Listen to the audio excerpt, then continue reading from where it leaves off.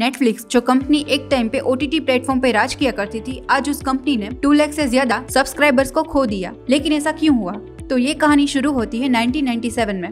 जब अटीरा नाम की कंपनी को रैशनल सॉफ्टवेयर 700 मिलियन डॉलर में अक्वायर करती है। 29 August 1997 Reed Hasting Marc Randolph के साथ मिलकर नेटफ्लिक्स की शुरुआत करते हैं। 30 एम्प्लॉइज और 925 डीवीडीज के साथ नेटफ्लिक्स नेटफ्लिक्स डॉट कॉम इस दुनिया की पहली डीवीडी रेंटल कंपनी बनती है। शुरुआत में Amazon ने 16 मिलियन डॉलर में नेटफ्लिक्स को खरीदने की ऑफ़र दी बट रीड हेस्टिंग ने नेटफ्लिक्स को बेचने के लिए मना कर दिया। आज की डेट में इतने सारे ओटीटी प्लेटफॉर्म लोगों के फेवरेट क्यों बन गए? हैं इसका रीजन है first option and number two comfort 1997 से ही नेटफ्लिक्स को ब्लॉकबस्टर से बहुत ज़्यादा कंपटीशन मिल रहा था बट इसकी एक बहुत बड़ी कमी थी, इसका 16 परसेंट रेवेन्यू लेट फ़ीस से आता था। 1999 में नेटफ्लिक्स ने अपने डीवीडी रेंटल मॉडल को सब्सक्रिप्शन बेस्ड मॉडल कर दिया। साल 2000 में Reed Hasting dot com bubble crash होने की वजह से 50 मिलियन डॉलर में बेचने के लिए रेडी हो जाते हैं। लकीली नेटफ्लिक्स 2002 में अपना खुद का आईपीओ लॉन्च करती है, जिसके थ्रू वो लोग 82.1 मिलियन डॉलर्स रेज करते हैं। बट इसके एक साल बाद ही मार्क रिडोल्फ ने कंपनी को क्विट कर दिया। साल 2007 में नेटफ्लिक्स ने अपनी ऑनलाइन स्ट्रीमिंग स्टार्ट करी और इस वजह से नेटफ्लिक्स की तकदीर ही बदल गई। फिर उन्होंने डेटा एनालिसिस के ऊपर मिलियंस ऑफ़ डॉलर्स खर्च करे। फिर 2013 में नेटफ्लिक्स ने अपना खुद का प्रोडक्शन हाउस सेटअप किया। मार्केट में नेटफ्लिक्स अब आसमान छू रहा है।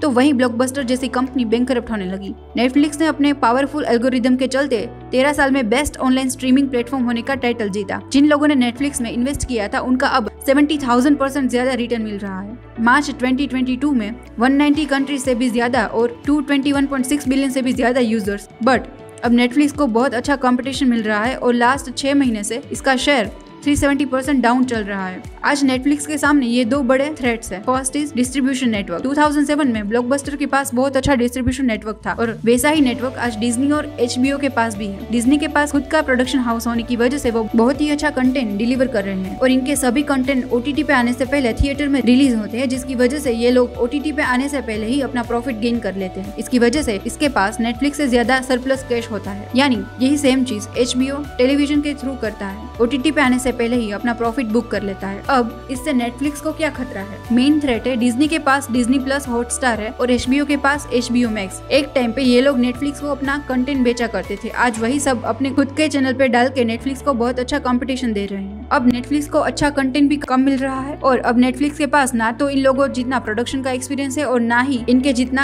हैंड कैश यही चीज़ हमें लेके आती है वन सोर्स पे। जो चीज़ 2007 में वॉलमार्ट ने सोचकर नेटफ्लिक्स को कंपटीशन देने की सोची थी, वही चीज़ आज अमेजोन नेटफ्लिक्स के साथ कर रहा है थ्रू अमेजोन प्राइम और इस वजह से नेटफ्लिक्स का शेयर दिन ब दिन नीचे गिरता जा रहा है। Now it's time for a business lesson first is kill or renovate your USP to keep the company alive जैसे नेटफ्लिक्स ने डीवीडी रेंटल से लेके ऑनलाइन स्ट्रीमिंग तक अपनी कंपनी को रिनोवेट किया बट अब जमाना बदल चुका है और नेटफ्लिक्स को अपनी यूएसपी चेंज करनी ही पड़ेगी। Second always keep more than one stream of income Netflix के पास बहुत अच्छा टाइम था अपने प्रॉफिट को अलग अलग तरीके से बढ़ाने का और इनकम ऑफ़ सोर्स को चेंज करने का बट उन्होंने ऐसा नहीं किया। वो पहले से ही सब्सक्रिप्शन बेस्ड मॉडल पे काम करते थे। इस कंपनी के डूबने का ये एक बहुत बड़ा रीजन बन सकता है। So I hope you guys like this case study stay tuned for the next one and don't forget to like share and subscribe to our channel and press the bell icon हाथ बढ़ाओ व्यापार बढ़ाओ download फ़ायदे now